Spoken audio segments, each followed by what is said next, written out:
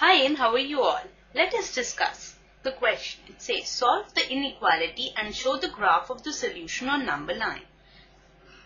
Now this is the inequality which we are given that is x by 2 is less than 5x minus 2 divided by 3 minus 7x minus 3 divided by 5. Now first of all, let us multiply each term on both the side by the LCM of 2, 3 and 5 that is 30.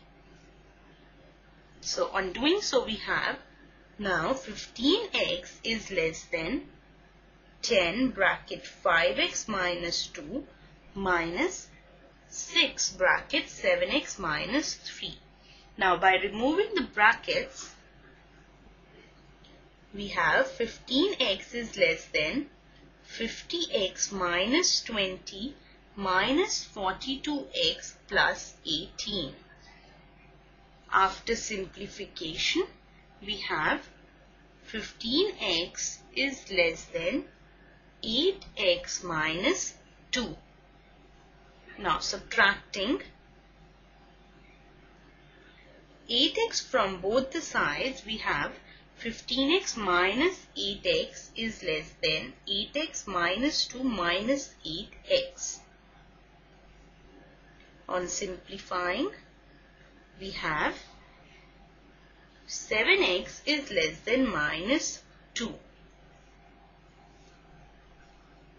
Dividing both the sides by a positive number that is 7 we have 7x divided by 7 is less than minus 2 divided by 7. That gives us the solution as x is less than minus 2 by 7.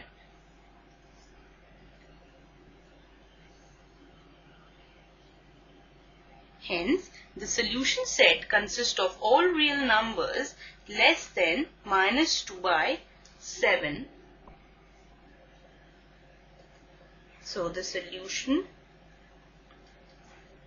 set is minus infinity to minus 2 by 7.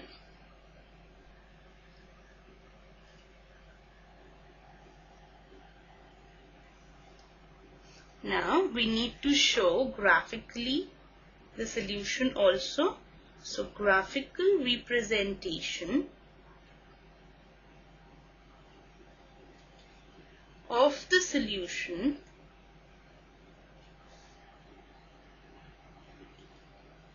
number line will be so let's have a graph. And this is the number line.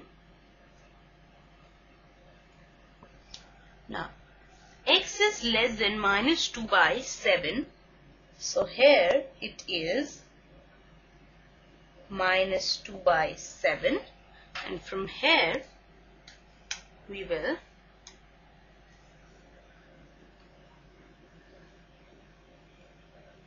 show that this blue line is showing that x is less than minus 2 by 7. So this is the graphical representation of the solution on number line. I hope you enjoyed